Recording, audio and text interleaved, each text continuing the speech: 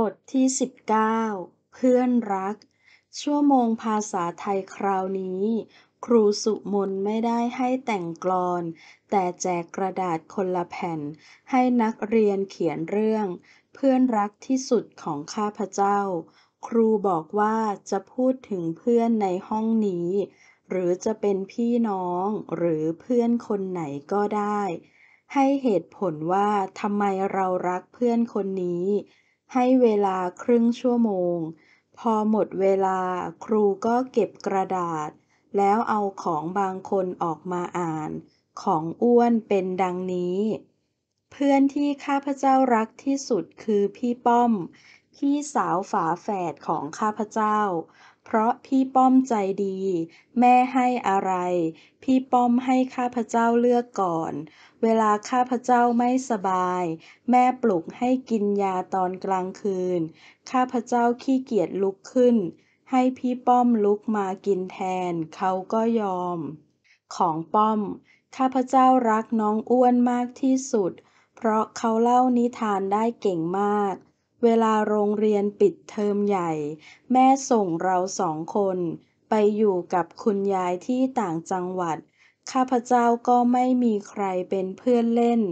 มีน้องอ้วนคนเดียว ตกลงสองพี่น้องใจเดียวกันของออสเพื่อนรักของข้าพเจ้าคือลุงพริ้งพานโรงที่โรงเรียนนี้ แกสอนให้ข้าพเจ้าเตะตะกร้อตอนโรงเรียนเลิกแล้ว ปุยเขียนว่า ข้าพเจ้ารักพี่ไก่มากที่สุด เพราะเวลาข้าพเจ้าทำการบ้านไม่ได้ ก็จะวิ่งหาพี่ไก่ที่ชั้นป .6 พี่ไก่จะสอนให้ แล้วพี่ไก่ยังแต่งกลอนเก่งอีกด้วย ครูคะพี่ไก่เป็นพี่ของแก้วนี่คะ ปุยทำไมมาเขียนเรื่องของพี่แก้ว แก้วประท้วง ครูไม่ได้บอกจำกัดนี่คะ ว่าจะต้องเขียนเรื่องพี่น้องของตัวเอง จะเขียนเรื่องใครก็ได้ แล้วครูก็อ่านเรื่องต่อไป คือเรื่องของนิด ข้าพเจ้ารักแก้วมากที่สุด แก้วเป็นลูกของน้าชายข้าพเจ้า แก้วฉลาดดี คุยรู้เรื่องและเล่นสนุก แถมแก้วยังเกิดเดือนเดียวปีเดียวกับข้าพเจ้าด้วย เรื่องของอ้อย ข้าพเจ้ามีเพื่อนรักมากที่สุดอยู่คนหนึ่ง คือแก้ว เขาเป็นคนใจดี สอนให้ข้าพเจ้าเล่นเกมต่างๆ ที่ไม่เคยเล่น แต่คนรถที่บ้านข้าพเจ้าไม่ชอบแก้ว แกบอกว่าแก้วชวนข้าพเจ้าสนทำให้แกเดือดร้อน ต้อมแต่งว่า แก้วเป็นคนเดียวที่ไม่เคยโกรธข้าพเจ้า เวลาข้าพเจ้าแกล้ง ฉะนั้นก็น่าจะเรียกได้ว่า แก้วเป็นเพื่อนรักของข้าพเจ้า ดูแก้วจะเป็นที่รักของใครต่อใครมากจริงๆ แม้ว่าแก้วไม่เคยได้เป็นหัวหน้าชั้น แต่ก็เป็นหัวโจกของห้อง คราวนี้ทุกคนก็สนใจว่า แก้วจะเขียนให้ใครเป็นเพื่อนรักที่สุด บางคนเดาว่าไม่พี่ไก่ก็น้องเล็ก เพราะแก้วเป็นคนรักพี่รักน้อง อาจจะเป็นนิด เพราะดูสนิทกันที่สุด นิดเองคิดว่าแก้วคงจะเขียนเรื่องลุงผ่อง หรือไม่ก็พี่สุทธิ เพราะแก้วเอ่ยถึงสองคนนี่ทุกวันทุกวัน บางคนว่าอาจจะเป็นต้อย ตุ๋ย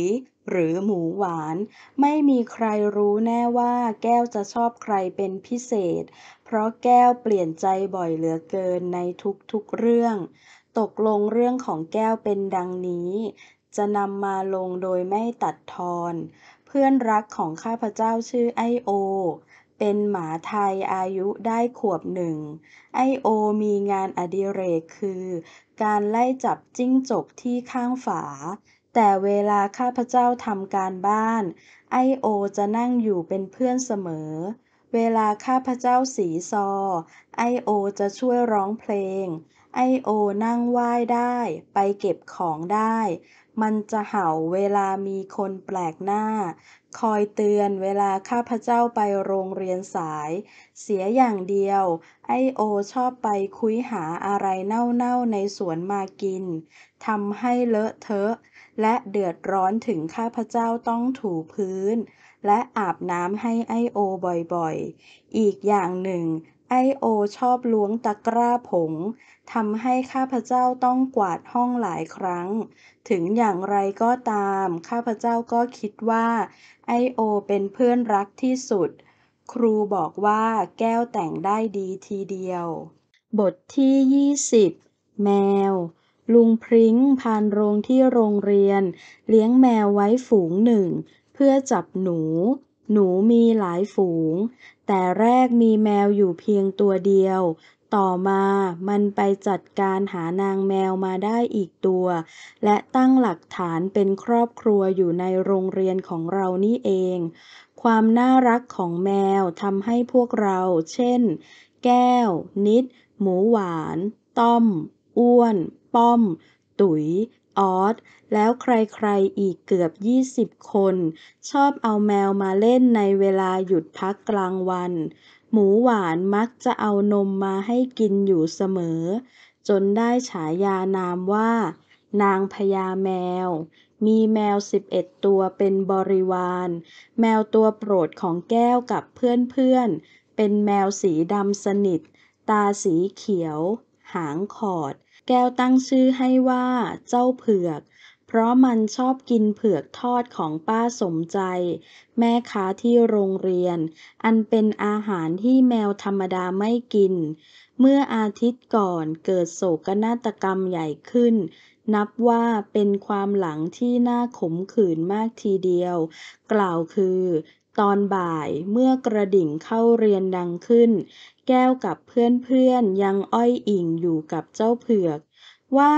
ทำไมวันนี้เจ้าเผือกไม่กินเผือก หมูหวานบ่น วันนี้ดูมันไม่ค่อยสบายนะ ให้มันไปกินในห้องเรียนสิ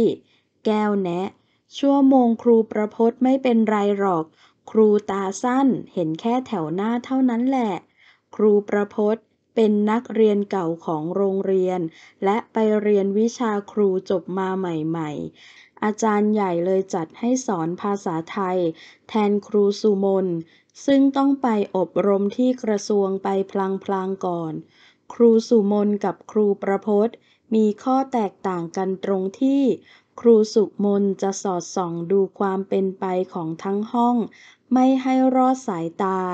ส่วนครูประพจน์ตั้งแต่สอนมาไม่เคยดุใครเลย ครูบอกว่าเห็นใจกัน แต่ก่อนครูก็อย่างนี้แหละ เอ้า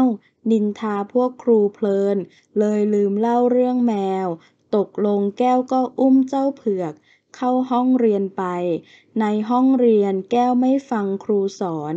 มัวแต่หันไปกระซิบกับตุ๋ยที่นั่งข้างๆทำยังไงล่ะ มันไม่กินเลย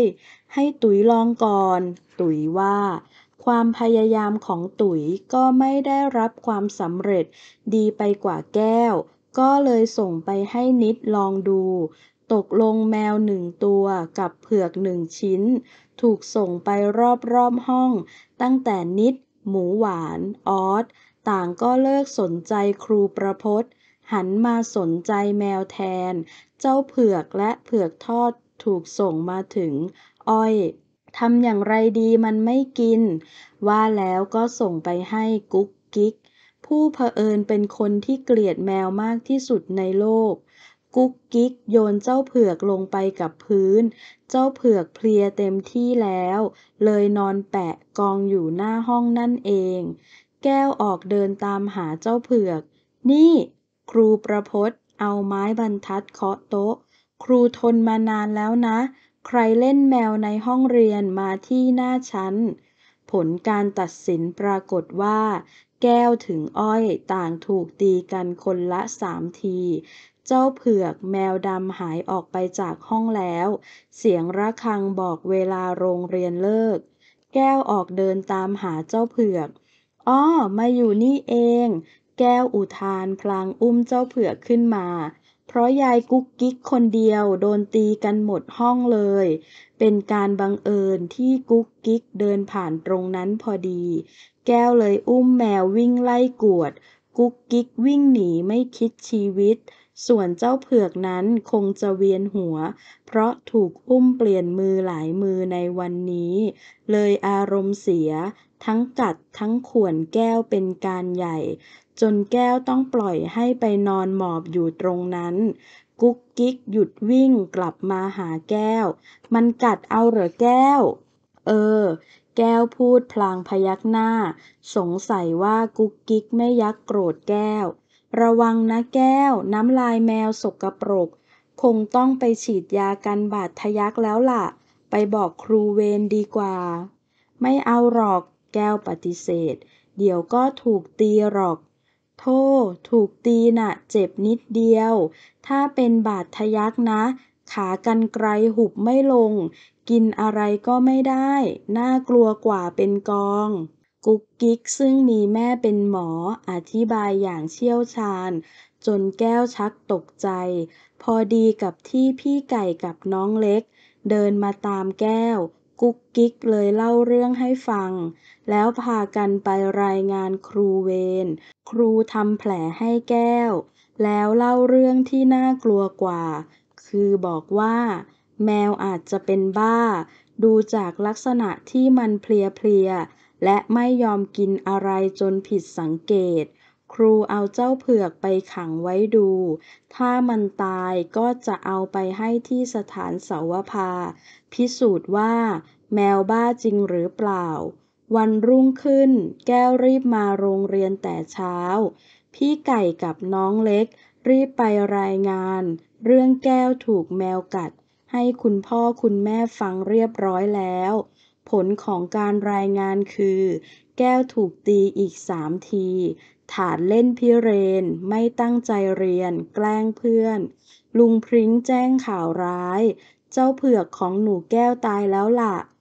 ครูใหญ่เอาศพแมวไปให้สถานเสาวภาพิสูจน์ ได้ผลมาว่า แมวบ้าแน่ แก้วและพวกรักแมวอื่นๆ จึงต้องไปฉีดยากันโรคกลัวน้ำกันทุกวันทุกวัน แต่แก้วไม่ต้องฉีดยากันบาดทะยัก ตามที่กลัวไว้แต่แรก เพราะฉีดยาเอาไว้เมื่อไม่ถึงเดือนนี่เอง ตอนที่แก้วเล่นรถจักรยานจนล้ม ระหว่างที่ทุกคนกำลังรอการถูกฉีดยาเข็มแรก ตุ๋ยคนเจ้าบทเจ้ากลอนของห้อง เขียนอะไรขยุกขยิกในเศษกระดาษ แล้วส่งให้แก้วอ่าน ใช่แต่หมาที่บ้าได้ แมวนั้นไซก็บ้าเป็น ตุ๋ยแต่งได้แค่นี้เอง บทที่ยี่สิบเอ็ดลมว่าวคราวพัดมา ถึงเดือนมีนาเมษา เข้าหน้าร้อน พวกเด็กๆสอบไล่เสร็จแล้ว และเป็นวันแรกของการหยุดเทอม ทุกคนจึงตกลงใจกันว่า จะไปเล่นว่าวที่บ้านนิด แถวบ้านแก้วไม่มีที่จะวิ่งว่าว เพราะมีต้นไม้เต็มไปหมด บ้านนิดอยู่ริมน้ำ มีที่กว้างขวาง อากาศไม่ค่อยร้อน แถมหน้านี้มีลมพัดแรงๆ เป็นมรสุมตะวันตกเฉียงใต้ หรือที่เรียกกันว่า ลมว่าว พวกพี่น้องของแก้วไม่ได้ขอเงินคุณพ่อคุณแม่ซื้อว่าวหรือได้ เพราะทุกคนต่างเก็บหอมรอมริบเงิน เอาจากค่าขนมประจำวัน แต่ถึงอย่างนั้นก็ไม่วายถูกคุณพ่อบ่น เด็กเดี๋ยวนี้ทำอะไรไม่ค่อยเป็นเลย สมัยพ่ออยากเล่นว่าวไม่มีที่ซื้อหา ต้องเหล่าไม้ปิดกระดาษทำกันเองทั้งนั้น ทั้งว่าวปักเป้า ว่าวจุฬาว่าแล้วคุณพ่อก็บรรยายวิชาการ เกี่ยวกับว่าวอย่างยืดยาว ตั้งแต่วิธีการทำการเลือกไม้ ขนาด และการเล่นว่าวชื่อว่าวชนิดต่างๆ โดยเฉพาะที่คุณพ่อชอบมาก คือว่าวตุ๋ยตุ๋ยของทางภาคใต้ ซึ่งเวลาขึ้นและผูกทิ้งไว้จะมีเสียงดัง ดุยดุยดุยดุยอยู่อย่างนี้ตลอด พี่ไก่เล่าให้น้องฟังว่า ตอนเด็กๆเเคยเห็นคุณพ่อ เหลาไม้ไผ่ทำว่าวขนาดจิ๋วเท่ากล่องไม้ขีด ใช้กระดาษแก้วปิดแทนกระดาษว่าวทำให้เบาและขึ้นได้จริงๆ เดี๋ยวนี้ หมายถึงว่าตอนที่แก้วและน้องเล็กโตขึ้น คุณพ่อมีงานยุ่ง เลยไม่ค่อยจะมีเวลาเล่นอะไรอะไรอย่างเดิม ตกลงพี่ไก่เป็นคนเดียวที่เคยได้เล่นกับคุณพ่อ ตกลงพวกเด็กก็ไปซื้อว่าวมาเล่นอยู่ดีว่าวที่แก้วซื้อเป็นว่าวงูสีแดง ของพี่ไก่กับน้องเล็ก เป็นนกและผีเสื้อตามลำดับ พวกเราเล่นกันอย่างสนุกสนาน ผลัดกันส่งและชัก วันนี้ว่าวทุกตัวขึ้นดี เพราะลมบนแรงเป็นพิเศษ เล่นไปสักครู่หนึ่ง มีว่าวแปลกปลอมข้ามแนวรั้วต้นไม้ใบหนา ลอยเข้ามาสู่อาณาจักรของพวกเรา เป็นว่าวสี่เหลี่ยมสีขาว ไม่มีลวดลายอะไร เอ๊ะ นั่นว่าวใครน่ะ น้องหน่อยทักขึ้น แต่ยังไม่ทันจะคิดการป้องกันแต่ประการใด ว่าวแปลกปลอมก็เข้ามาพันกับว่าวเจ้าถิ่นของน้องหน่อยเข้าให้ น้องหน่อยพยายามสาวว่าวกลับ เลยถูกว่าวลึกลับสีขาวนั้นตัดได้ขาดลอยไป ป่านคมด้วยแฮะ นิดซึ่งมองดูอยู่รำพึง น้องเล็กกับพี่ไก่ต่างรีบสาวว่าวของตัวเองลง เพราะกลัวจะถูกตัดสายป่านว่าวขาดลอยลมแบบของน้องหน่อย แก้วเสียดายว่าว่าวกำลังติดลมดีๆ จึงเพียงแต่ดึงเสียให้พ้นรัศมีว่าวมหาภัย ดูนะ นิดจะสู้กับเจ้าป่านคมนี่สักตั้งหนึ่ง นิดซึ่งเป็นอีกคนหนึ่งที่ไม่ยอมชักว่าวลง กลับชักให้เข้าไปพันกับว่าวลึกลับ ต่อไปนี้จะเรียกว่าว่าวลึกลับ ดึงกันไปดึงกันมาอยู่นาน เพราะได้ของนิดก็เส้นใหญ่พอใช้ ในที่สุดว่าวของนิดก็ขาดลอยตามว่าวของน้องหน่อย ขอแก้วลองเถอะ แก้วกล้าทำอย่างนี้ เพราะว่าได้ของแก้วเส้นโตกว่าของคนอื่นนิดหน่อย แก้วปล่อยให้ว่าวเข้าไปพันกับว่าวลึกลับ แล้วไม่ดึงแรงๆ แต่ปล่อยได้จนหมด แล้วค่อยๆสาวลง คราวนี้เจ้าว่าวลึกลับป่านคม ป่านขาดหลุดติดกับว่าวของแก้วลงมาเลย ได้ว่าวเฉลยมาแล้ว แก้วพูดอย่างภูมิใจ ดูสิเราได้ป่านคมมาตั้งแยะ พวกเด็กๆอยากได้ป่านคมมาก เพราะผู้ปกครองไม่ค่อยชอบให้เล่นป่านคมนี่ถ้าไม่ระวังให้ดีจะบาดมือ การทำป่านคมต้องใช้เศษแก้ว จะเป็นหลอดไฟฟ้าขวดแตกๆก็ได้ ป่นละเอียด กรองด้วยผ้าแล้วจึงมาเคี่ยวกับกาว บางคนก็ใส่ไข่ด้วยนิดหน่อย บอกว่าทำให้เหนียวดี บางคนใช้ไข่ตุ๊กแก ลุงผ่องบอก เสร็จแล้วเอามารูดกับได้หลอดซึ่งใช้ทำป่าน คุณพ่อของแก้วก็ไม่เคยชอบใช้ป่านคมนี่ เที่ยวตัดว่าวของใครๆขาดลอย จะแข่งขันว่าวกันก็ใช้ความมีฝีมือ คว้าว่าวของฝ่ายตรงข้ามดีกว่า พวกเด็กๆลองขึ้นว่าวเฉลยที่ได้มาใหม่ ปรากฏว่าขึ้นได้ดีมาก เสียอยู่ที่ป่านเฉลยได้มาน้อย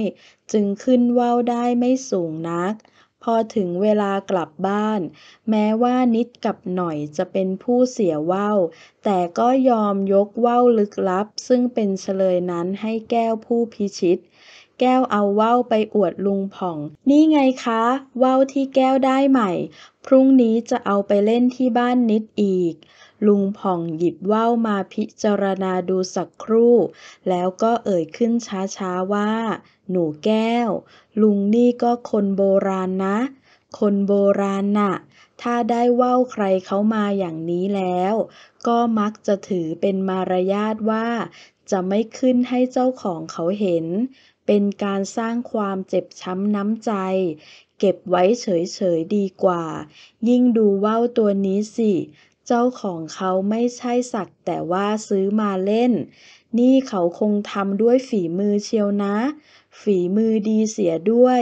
เหลาไม้ขัดกระดาษทรายเสียเรียบ เขาคงเสียดายเหมือนกัน แก้วเห็นด้วยกับลุงผ่องอีกนั่นแหละ บทที่ 22 สัตว์ประหลาด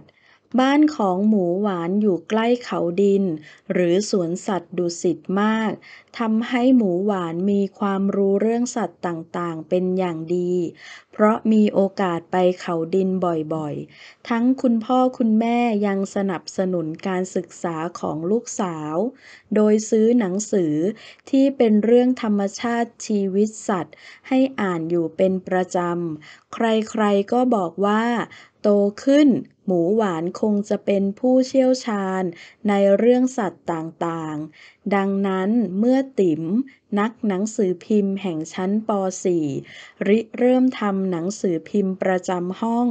หมูหวานจึงได้เป็นเจ้าของคอลัมน์ ข่าวสังคม สัตว์เลี้ยง สัตว์ป่า และสวนสัตว์ อันเป็นคอลัมน์ที่แหวกแนวทีเดียว ข่าวในคอลัมน์นี้มีต่างๆกัน ตั้งแต่เรื่องหมูม้ากา ไก่ และสัตว์เลี้ยงอื่นๆ ของเพื่อนทุกคนในห้อง ข่าวที่พวกเราถูกแมวบ้ากัด ละครลิงชิมแปนซีที่เขาดินเล่นอะไรบ้าง ฮิปโปในเขาดินตกลูก ตอนท้ายข่าวมักจะมีคติหรือข้อคิดอันเป็นประโยชน์ เช่น ไม่ควรเอาไม้ไผ่ไปแย่หมี จะต้องเจ็บตัวเหมือนหนูหล่อ ที่พ่อเขาพาไปดูหมี ที่นาตาหมอหลอ เคราะห์หามยามร้ายอาจจะโดนหมีตะปบถึงตาย หมูหวานอธิบายทีหลังว่า ที่ต้องขู่ให้น่ากลัวมากๆ เพื่อป้องกันการรังแกสัตว์ เมื่อเช้าวานนี้ หมูหวานมาโรงเรียนสาย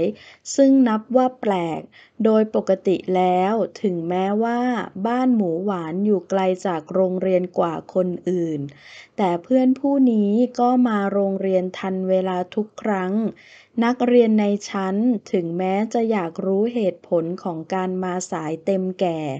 ก็ไม่กล้าหันไปกระซิบทำเสียงจอกแจ๊กจอแจ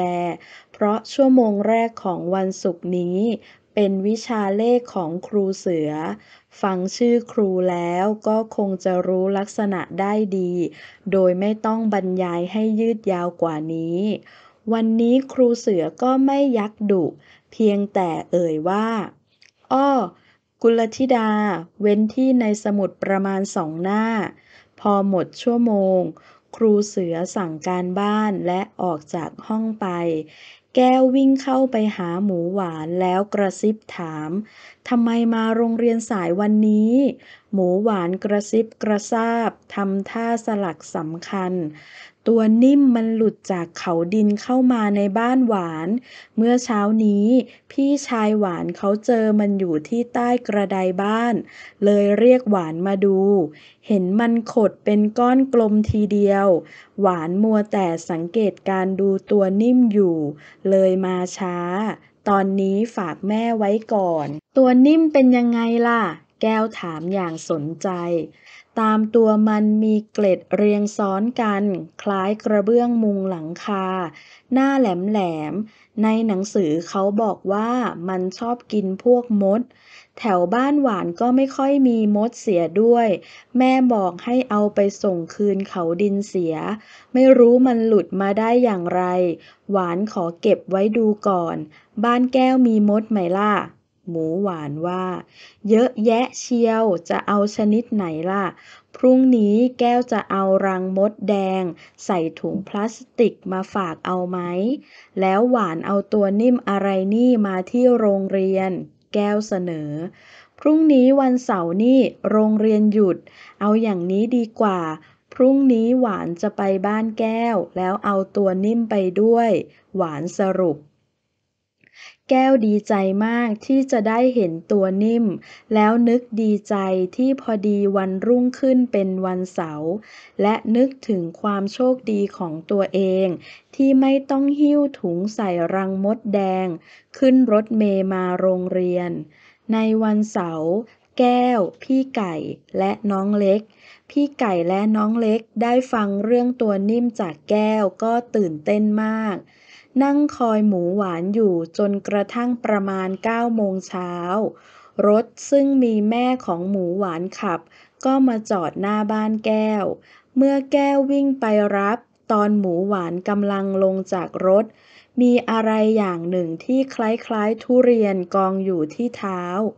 นี่หรือตัวนิ่มเหมือนทุเรียนจัง น้องเล็กซึ่งวิ่งตามมาปรารภ พลางเงยหน้าขึ้นยกมือไหว้แม่ของหมูหวาน พร้อมๆกับพี่ไก่และแก้ว ทุกคนเพิ่งนึกออก เพราะมัวแต่ตื่นเต้นเรื่องตัวนิ่ม นี่ละจ้ะตัวนิ่มของแม่หวานเขาน้ายังไม่เห็นมันกินอะไรเลย แม่ของหมูหวานเอ่ยขึ้น แก้วกำลังจะไปเอารังมดแดงจากต้นมะม่วงที่เตรียมไว้คอยท่า อดีเจ้าตัวนิ่มคลายตัวออกจากการม้วนเป็นก้อนกลมทำให้มองเห็นหน้าตา และรูปร่างซึ่งเหมือนสัตว์โลกล้านปี ระหว่างที่ยังไม่มีใครนึกออกว่าจะจัดการอย่างไรกับเจ้าตัวนิ่ม แม้แต่คุณธีรา คุณแม่ของหมูหวาน คุณพ่อซึ่งรู้ถึงการมาของคุณธีรา หมูหวานและตัวนิ่มแล้วจากแก้ว มาช่วยจัดการเอาตัวนิ่มไปใส่กรงไก่ ซึ่งไก่ตายไปหมดแล้ว เอารังมดแดงใส่ลงไปด้วย เพราะรู้ดีว่าคุณธีราคงไม่ยอมให้ตัวนิ่มกินเลี้ยงในรถเด็ดขาด คุณแม่ก็ออกมาเชิญคุณธีราเข้าไปเตรียมอาหารในครัว แล้วคุยกันใหญ่ถึงเรื่องสมัยอยู่โรงเรียนด้วยกัน ได้ยินเสียงคุณแม่ดังออกมา เธอตามใจลูกจังเลย เสียงคุณธีราหัวเราะ พี่ก็เหมือนกันนั่นแหละส่วนข้างนอกเด็กๆเเล่นกัน หมูหวานเล่าเรื่องที่มีสัตว์ประหลาดประหลาด หลุดจากเขาดินมาในบ้าน เช่น นกเงือก นกตะกรุม พอถึงเวลาเที่ยงทุกคนรับประทานอาหารด้วยกัน คุณพ่อก็จัดการเอาตัวนิ่มใส่รถคุณธีรา เพื่อเอาไปเขาดิน บทที่ 23 ผีตาแปะแก่ เฮ้อ แก้วไม่ได้พบกับเพื่อนๆเสียนาน ตอนนี้เรียนชั้นป .5 แล้ว แต่ชักจะเหงา เพื่อนฝูงต่างแยกย้ายกันไป นิดกับหน่อยถูกคุณป้าจ้อยจับเข้าโรงเรียนประจำทั้งคู่ พี่สุทธิเพื่อนคู่หู ก็ย้ายไปประจำโครงการชนละประทานทางเมืองเหนือโน่นแน่ ขียนจดหมายมาเล่าว่าสนุกมาก ส่วนพี่ไก่ก็สอบเข้าโรงเรียนรัฐบาลได้ทำให้คุณพ่อคุณแม่ดีใจมาก หมู่นี้มุเรียนหนัก ไม่ค่อยมีเวลาว่างมาเล่นกับแก้ว แต่แก้วก็เหงาอยู่ไม่ได้นาน ช่วงสุดสัปดาห์ที่แล้ว คุณแม่ให้แก้วกับน้องเล็ก ไปค้างบ้านคุณลุงคุณป้า พี่คนโตของคุณแม่ แก้วตื่นเต้น เพราะไม่เคยไปค้างนอกบ้านที่ไหนเลย นอกจากไปเที่ยวทะเลหนเดียว บ้านคุณลุงคุณป้าเป็นเรือนแบบโบราณ คุณลุงเป็นคนนิยมศิลปะวัตถุ โดยเฉพาะของเก่าๆ เช่น เครื่องลายคราม ชามสังคโลก ชอบสะสมไว้ดูเล่น แม้แต่ในสวนก็ยังมีตุ๊กตาหินตั้งอยู่ตัวหนึ่ง คุณลุงคุณป้ามีลูกสองคน อายุเท่าๆกับแก้ว ชื่ออึ่งกับแอด เราสี่คนถูกคอกันดีมาก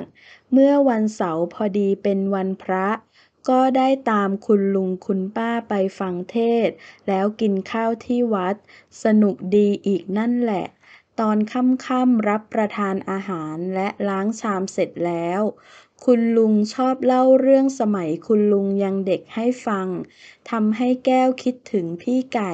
เพราะเห็นชอบฟังเรื่องเก่าๆพพอคุณลุงเล่าจบเด็กๆก็ไปนอน คืนนั้นยังไม่มีใครง่วง พวกเราจึงคุยกันต่อ น้องเล็กเป็นคนเริ่มเรื่องตามเคย บ้านเก่าๆนี้น่าจะมีผีนะฮึอึ่งประท้วง อึ่งอยู่บ้านนี้มาตั้งแต่จำความได้ ก็ไม่เห็นมีอะไรนี่ความจริงแก้วคิดว่าอึ่งคงจะกลัวผี เลยรีบกลบเกลื่อน ดูผีเสื้อตัวนั้นแน่ น้องเล็กกระซิบเบาๆ มันกรอกตาไปมาได้ น่ากลัวจะมีผีสิง น้องเล็กหมายถึงจุดกลมๆที่ปีก อึ่งพยายามหาคำอธิบายให้ถูก ตามหลักธรรมชาติวิทยา อึ่งว่ามันไม่ใช่ตาหรอก เป็นลายของปีก เวลาขยับปีก ลายก็เคลื่อนไปมา โอ้ย ง่วง นอนดีกว่า น้องแอด ซึ่งเงียบอยู่เป็นนาน พยายามตัดบท แล้วหลับตา ส่วนแก้วลุกขึ้นไปเข้าห้องน้ำ ห้องน้ำบ้านคุณลุงอยู่แยกจากตัวบ้านออกไป ก่อนจะถึงต้องเดินผ่านสวน ขากลับมองไป เห็นตุ๊กตาตาแปะแก่ ที่คุณลุงตั้งไว้แถวแถวพุ่มไม้ เลยคิดอะไรขึ้นมาได้อย่างหนึ่ง จุจุตื่นสิแก้วปลุกน้องเล็กกับอึ่ง น้องแอดพลอยลุกขึ้นด้วย พี่แก้วเห็นผีจริง ๆ ด้วย ตาแปะแก่ที่อยู่กลางสวนน่ะ แกยักคิ้วกับพี่แก้ว แล้วทำจมูกย่นจริง ๆ ด้วย ไม่เชื่อหรอก อึ่งยืนยัน ถ้าไม่ลงไปดูก็ไม่รู้จริง น้องเล็กตัดบท ทุกๆคนค่อยย่องพากันลงไปในสวน นั่นไงมันขยิบตาแล้ว แก้วกระซิบ จริงด้วย น้องเล็กเสริม มองไปมองมา อึ่งก็ชักจะอุปทานเห็นว่าตาแปะขยิบตาทำให้แก้วชักจะเสียวๆบ้าง ตอนแรกน่ะ แก้วตั้งใจหลอกให้คนอื่นกลัว พอทุกคนเกิดเห็นตาแปะขยิบตา แก้วซึ่งไม่เคยเชื่อเรื่องผีผีสางสางก็เริ่มไม่แน่ใจ แถมน้องแอดซึ่งมีจินตนาการเกี่ยวกับผี พอๆกับน้องเล็กยังเล่าว่า แอดเคยได้ยินป้าจันเล่าว่า มีคนถูกสาปให้เป็นหิน ป้าจันเป็นแม่ครัว เป็นนักเล่านิทานตัวฉกาจเท่านั้นเองทุกๆคนก็วิ่งขึ้นเรือน เข้าห้องนอนหลับตาปี เอาผ้าคลุมโปงทั้งๆที่อากาศกำลังร้อนจัด เช้าขึ้นทุกคนยังโจษจันกันเรื่องผีตาแปะแก่ จนคุณลุงสงสัยว่ามีเรื่องอะไรกัน พอซักไล่เลียงได้ความแล้ว คุณลุงก็หัวเราะลั่น โธ่เอ๋ยตุ๊กตานั่นมันเป็นแค่อับเฉาเรือมาจากเมืองจีน ผีไม่มีจริงหรอก ลุงแก่ป่านนี้ยังไม่เคยเห็น อับเฉาอะไรคะ แก้วยังติดใจเรื่องอับเฉาอยู่ เพราะไปคิดถึงต้นพริกที่บ้านเวลาลืมรดน้ำคุณลุงรู้ทันเลยอธิบายให้ฟังว่า อับเฉา คือเครื่องถ่วงเรือไม่ให้เรือโคลงสมัยก่อนตุ๊กตาหินพวกนี้ เขาใช้ถ่วงเรือสินค้ามาจากเมืองจีน บอกว่าทีหลังจะพาไปดูที่วัดราชโอรส มีอยู่หลายตัว คุณลุงไม่ดุแก้ว ถ้าคุณพ่อคุณแม่รู้เข้า คงถูกดุว่าเล่นไม่รู้จักโต